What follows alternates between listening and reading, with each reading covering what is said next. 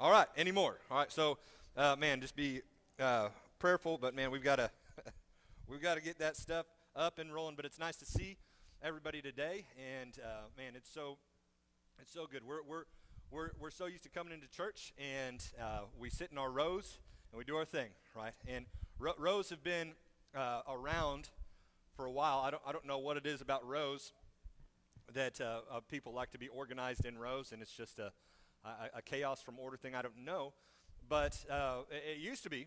It used to be that rows was the way that wars were fought, right? And, and so, in, in, the not too not too far past, all wars were fought in these nice, neat little rows. Like not not for just a little bit. It's only for these last couple hundred years that wars haven't been fought with two rows of men fighting each other, right? And, and, and, so all the way from the Old Testament, like up to 1865, I think is when the Civil War ended, it, it, man, we had rows of people that would just go fight each other, right?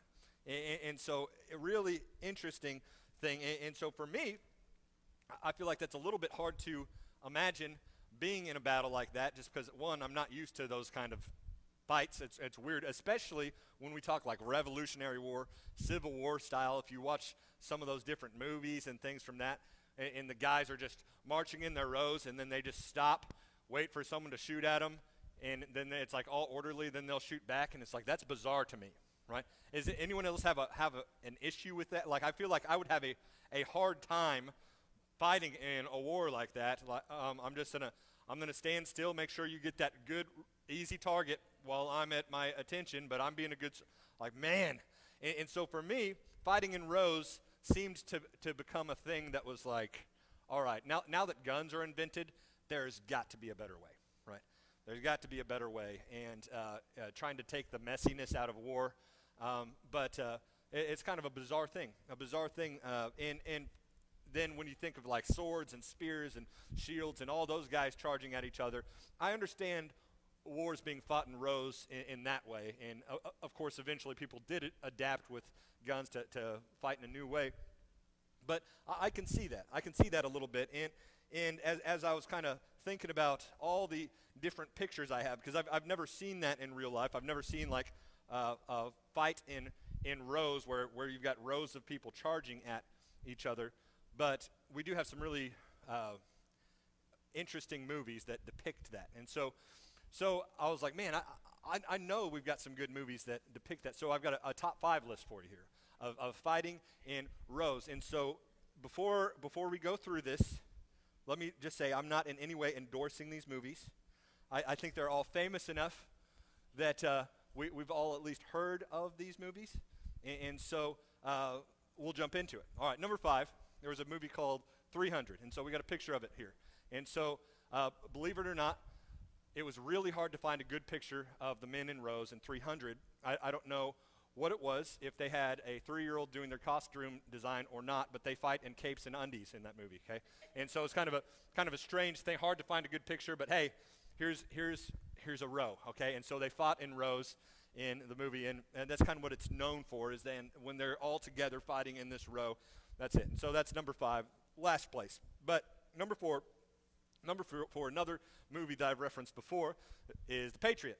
Okay, Patriot. Got another picture here. So this is that that those rows that I find that's hard for me to just go, man, that is a bizarre way to fight. Okay, it's bizarre to me. And, and the whole reason The Patriot is a movie, anyways, is because there's a guy named Benjamin Martin who didn't fight in rows. And so this guy gets his little special forces team together, and, and they are doing everything they can to disrupt the British Army in order to win and all this. But, but it's another uh, just good movie about fighting in rows, and eventually they do get in line, and even the that little squad, that militia, uh, fights in rows at the end of the movie. So there's that. Number three, did I cut out?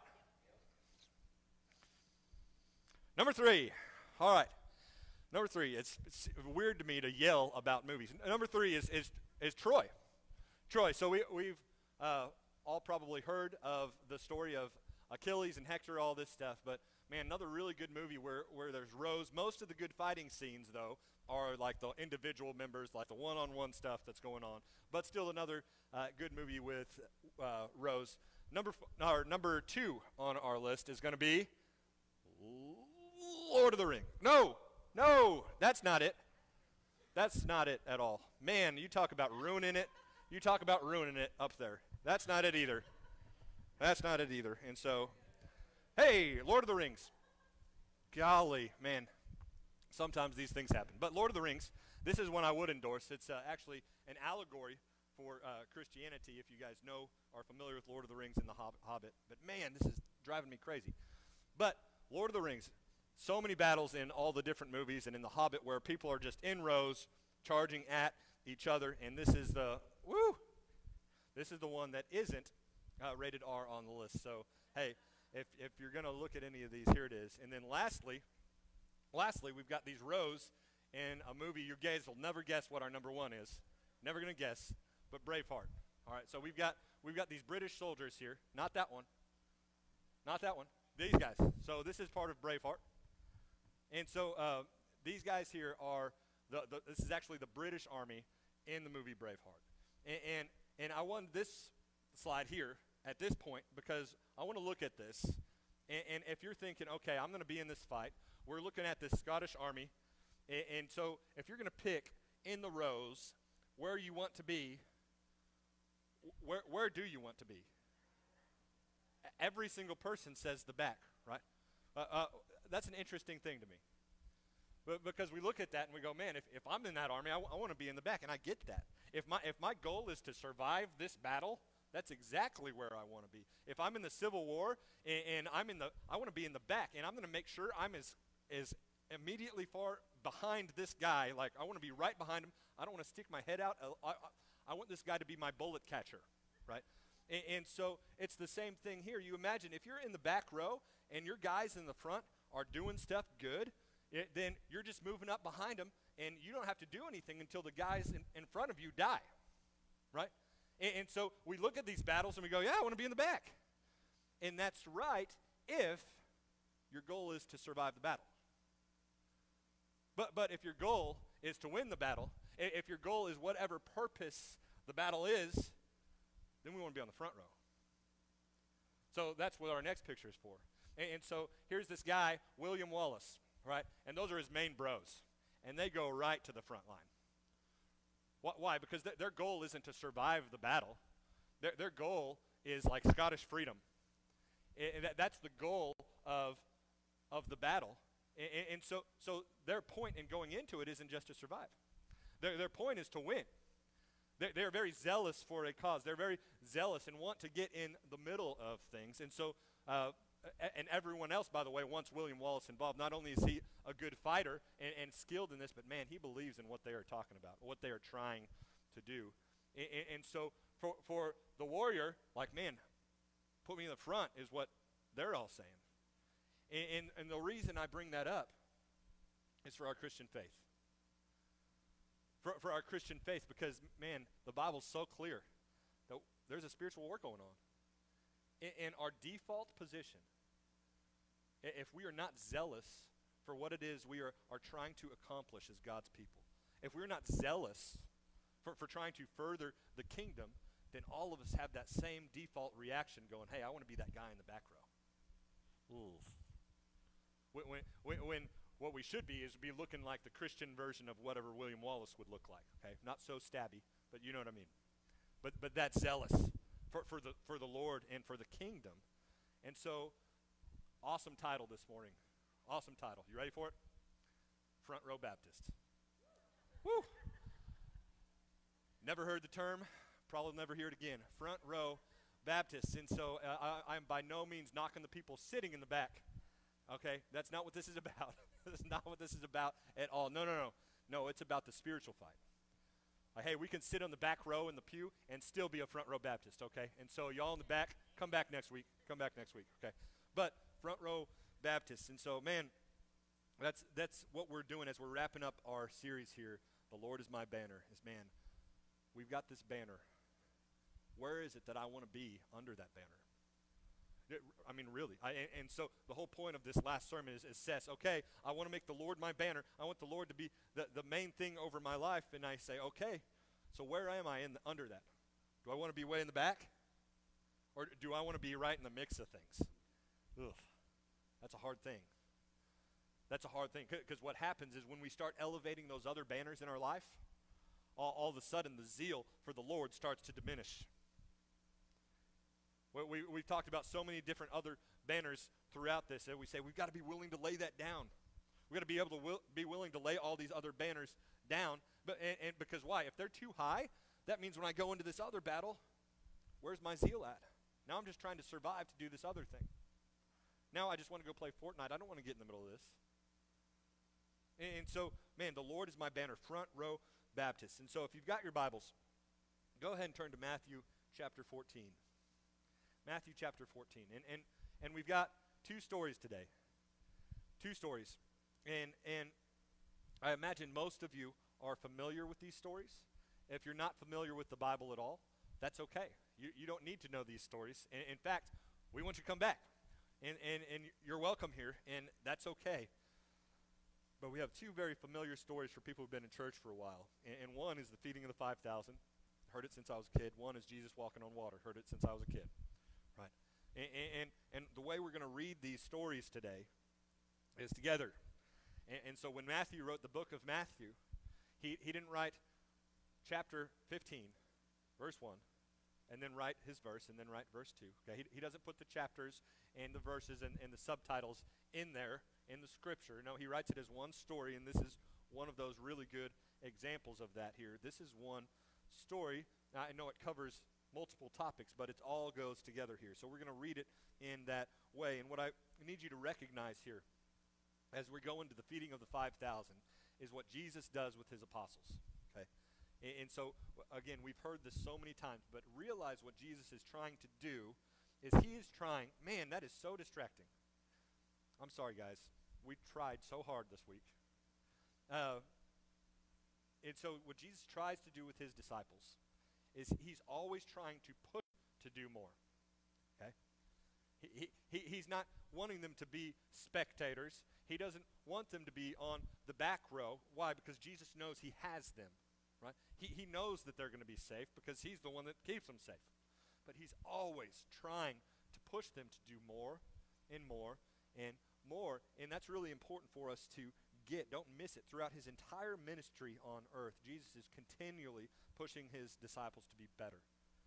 He, he's continually doing this. And so he, he's, he's equipping them for the work that they're going to do when he's gone. And, and, so, so four chapters before this, Jesus has given the 12 apostles some authority. Okay? We'll put Matthew chapter 10 up on the screen. But there's this verse where, where Jesus gives them authority. And he says, He called to him his 12 disciples and gave them authority over unclean spirits to cast them out and to heal every disease and affliction. Okay? That's, that's a big deal.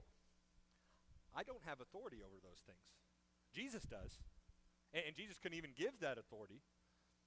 But, man, we see the apostles do some incredible things in the New Testament, right?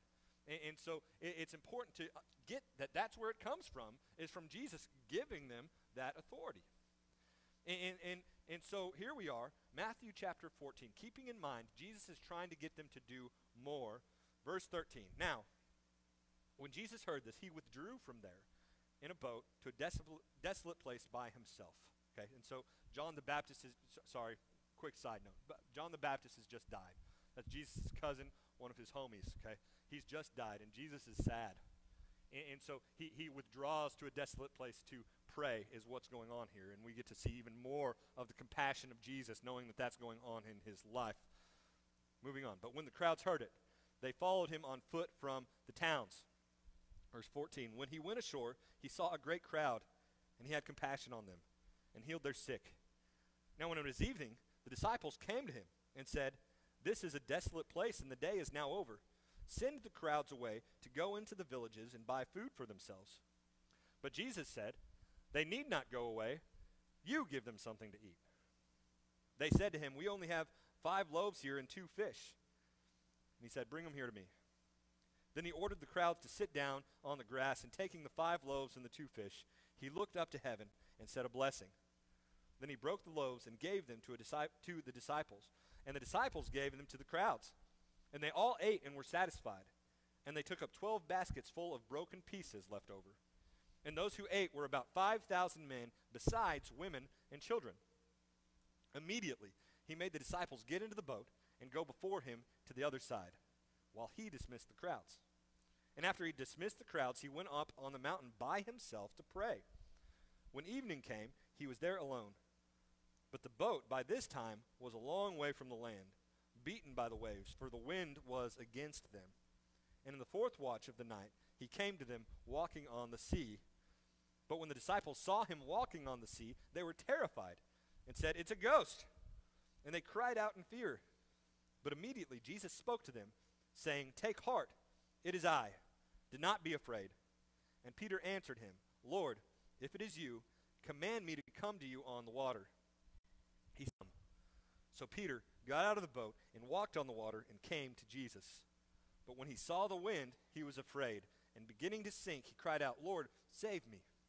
Jesus immediately reached out his hand and took a hold of him, saying to him, O you of little faith, why did you doubt? And when they got into the boat, the wind ceased, and those in the boat worshipped him, saying, Truly you are the Son of God. So, back up to verse 15. Back, feeding the 5,000 here. Uh, again, verse 5 says, Now it's evening. The disciples came to him and said, This is a desolate place, and the day's now over. Send the crowds away to go into the villages and buy themselves, or buy food for themselves. But Jesus said, They need not go away. You give them something to eat. Okay? Says, You do it. You give them something to eat. He, he's pushing them here. Okay? He, he's trying to get them to do this without him. He said, You give them something to eat. Use this authority that I have given you. You give them something to eat. And, and so, number one this morning is this it's that Jesus wants us to bear more fruit than we want to. It's pretty simple. Jesus wants us to bear more fruit than we want to. And, and I think sometimes we think it's the opposite of that. Right? So sometimes, uh, for whatever reason, in our minds, we can confuse ourselves and think, man, if Jesus would just do this, then all these people would be getting saved. He's going, no, I, I want you to bear so much more fruit than you actually want to. Ugh.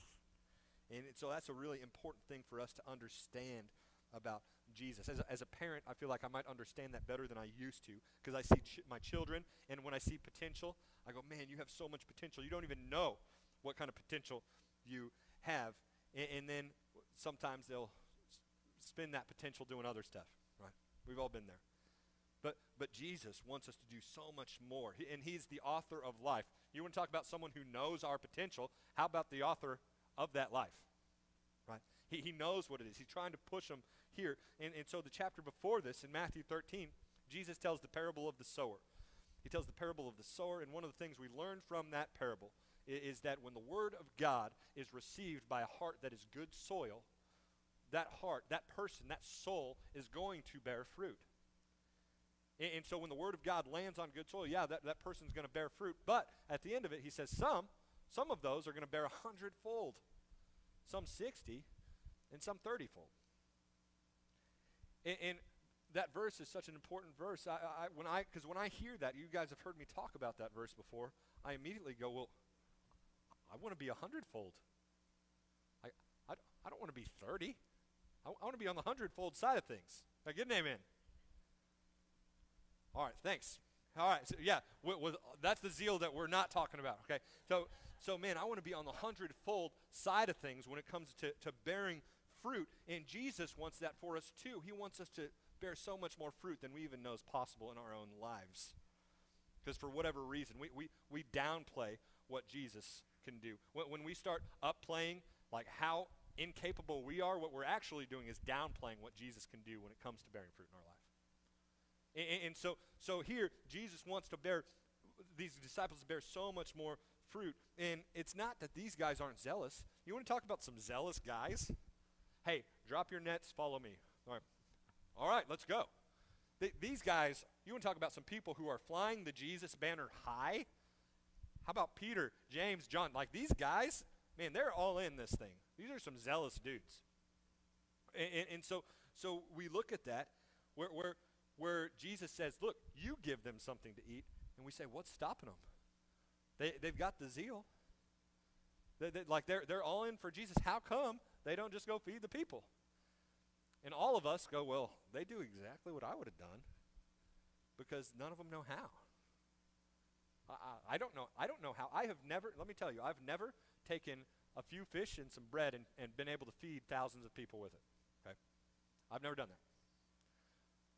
But Jesus has. And, and, and if Jesus gave me the authority to do it and let me know that it was his will to do it, I guess I would try. And, and after reading this, we go, well, how come they didn't? How come they didn't even try? And it comes down to they didn't even know what to do. And, and I think that's so so often our problem is like we don't even know how to verbalize that we don't know what to do. You guys ever been in that situation where like, man, I, I, I don't know how, or I, I kind of get this partially, but I, I, I don't know exactly what Jesus is telling me to do? And so Jesus tells them what to do. He says, you give them something to eat. And, and, and they probably need some more instruction, but they sure don't ask. Instead of asking, okay, how? What, what is it that we, like, we, we need a little more instruction on this or anything like that, what they do is they immediately point out why they can't. Anyone been there? Oof. Jesus says, You go do this. And they, uh, they immediately go to what is possible in their own mind. I, I had a friend tell me recently, like, man, we just can't do math with Jesus. But because that's, that's where I go in my flesh, is immediately I go, no, uh, we have a very small amount of food and a very large amount of people. So mathematically, we cannot do that. But we don't do math with Jesus. You know, uh, the, the, if, if I look at our budget and our sound system, I go, we can't do that. But we don't do math with Jesus. Who knows? If it's His will, we're going to get that sound system soon. I don't know.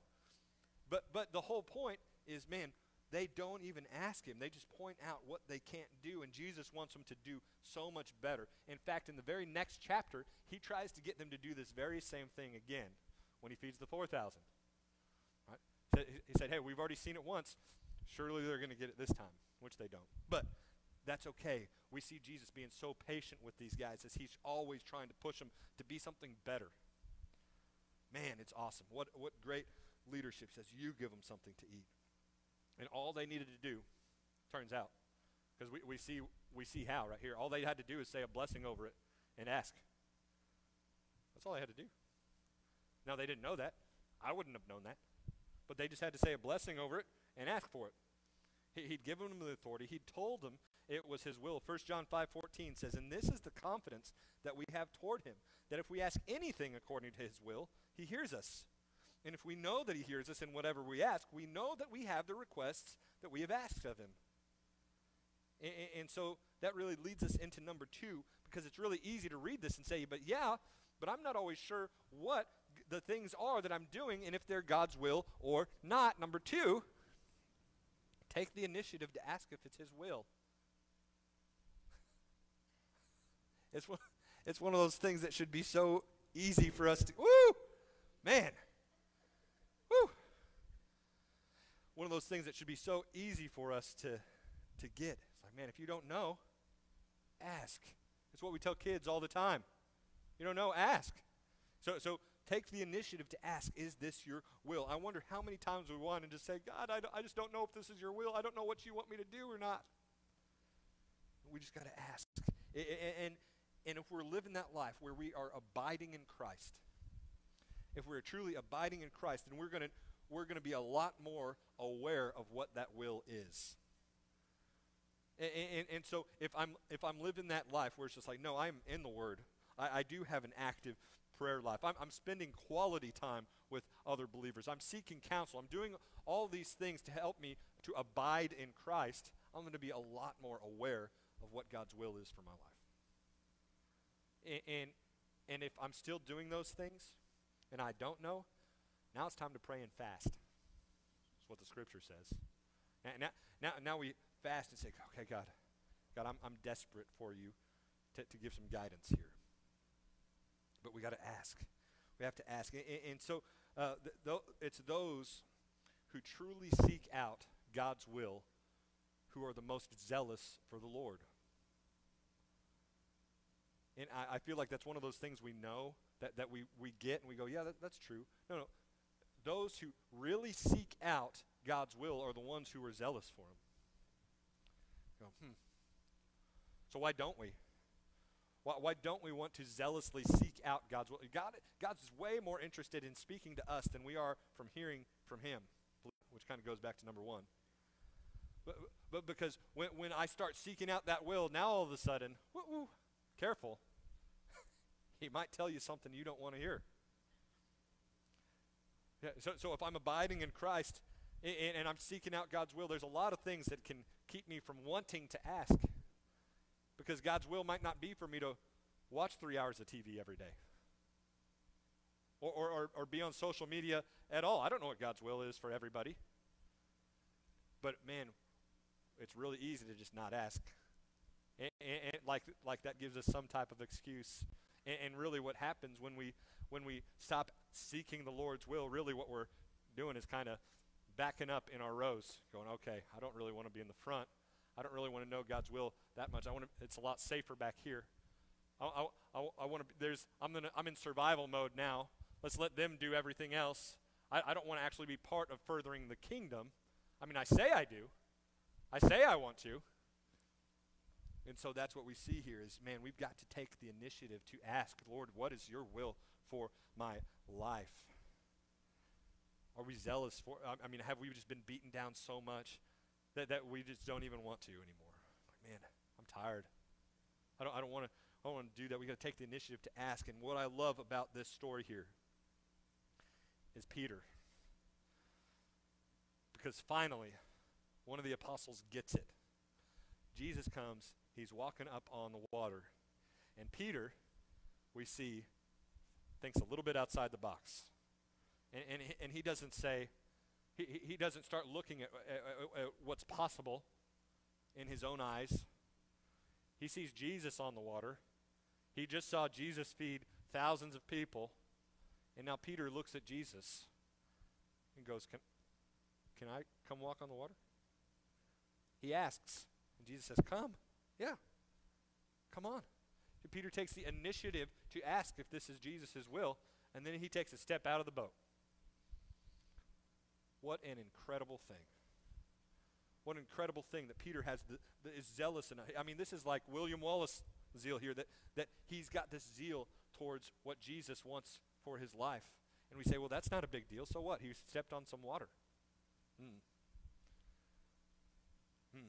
So, so what if all Christians have this kind of zeal when it, when it comes to seeking the Lord's will for their life? But, but because finally, finally, we, we, we see what Jesus, what Peter can do through Jesus. Finally, Peter gets to see it. Finally, the other apostles get to see it, and it's like, man, that better wake somebody up that Peter's out there walking on the water. Th- this story isn't so much about him sinking as much as it is, man, Peter actually tried. That's awesome. That's awesome, which leads us to number three. It's better to try and fail than to live in fear. Whew. It's better to try and fail than to live in fear. Because, hey, if you're going to try, if you try to do good at anything, you're going to fail over and over. Take that to any sport you want. Man, you got to learn how to dribble a basketball. Well, hey, it's going to take a lot of failure in all these different drills. You're going to try to do your football drills. Well, it's going to take a lot of failure as we're learning to do this. But you're never going to get good at anything if you don't ever try. That's about the only thing I claim to be good at is I'm pretty good at trying. Which means by definition I'm good at failing. All the time I fail. All the all the time I fail. Man, we've got to have the courage to fail at something new. Something I heard Jaden say a long time ago. I love that. Have the courage to fail at something new. But man, it's better to try and fail than to live in, in fear. And so finally with Peter here, finally, the, the other disciples are, are, are sitting there. They're in the boat. H- how come they're not going, hey, Jesus, I want to come out on the water? What, what are they doing? They're on the back row. They're not the heroes of this story at all. But, but it's so easy for us. There's, there's two different ways that we can look at the story here. And so, so for the person who looks at the story and who is a fearful person, we look at that and they go, well, Peter failed. But for the person who, who is truly zealous for the Lord, for the, the person who's that William Wallace on the front row, they're going, man, Peter's awesome. Good for Peter for actually trying to do something. G- good for him to, for, for not being scared, for thinking outside of the box, for just trying. What an awesome, awesome thing. Why? Because, man, when, when, when we try, we're used to failing. We're just used to it. And, and it helps us to encourage others. Like, man, it's mistakes. Mistakes are no big thing. Like, I, I, I never punish my kids for mistakes. Disobedience, yeah, that's something different. But like, ah, you made a mistake. That's okay. Good for you for trying. And, and, so that's what we, we see here. And so there's this there's this famous Bible verse that I think is a really interesting verse. And and, and here it is. It's, it's 2 Timothy 1 7. And I think we've all heard it. It says, For God gave us a spirit not of fear, but of power and love and self control. I, I love that verse uh, a, a, spirit not of fear. And I think there's a lot of, of, of people that that really resonates with, and I think there's a lot of people that that doesn't resonate with. But, because, again, it depends on whatever our, our approach is to being zealous for the Lord. If the Lord is my banner and I'm in that survival mode and I just want to be in the back row hoping I don't have to get put in, then I go, well, doesn't really matter if I have a spirit of fear or not. That, that verse doesn't mean much to me. But, but for, for Paul writing to Timothy here, he said, hey, it's like, bro, we're on, Paul's on the front row, okay? He, he was the William Wallace of the early church. He's going, look, Timmy, we, we are on the front row of this thing, but God hasn't given us a spirit of fear. And yeah, yeah, you're, you're, you're going to fail. You might be like one of William's bros and get your arm chopped off. But man, it's okay. God is for us. And, and, so, so it's so important for us to have that zeal for the Lord. Man, what are we doing? Well, where, where is it that I want to be? When we, when we hear the word and we, we see what Peter does, is, is that the kind of faith I have? Or am I one of the other disciples that would just rather stay in the boat? Ooh. Ooh. So, we're going to pray.